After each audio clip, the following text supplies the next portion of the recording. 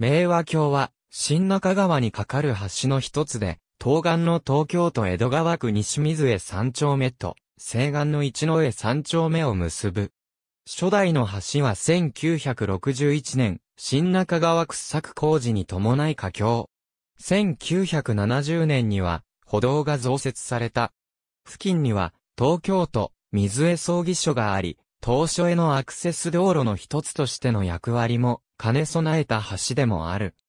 その後、交通量の増加等による橋の老朽化、福音が狭く取り付け道路が両岸で急カーブしており、円滑な交通の支障となっているため、江戸川区の新中川橋梁整備計画の第一弾として1992年に架け替えられた。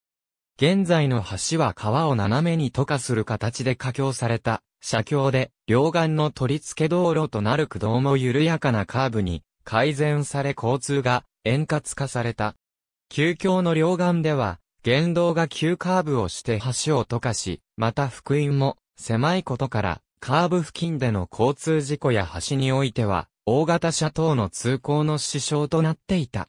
橋長は119.4メートル、福音は6メートルであった。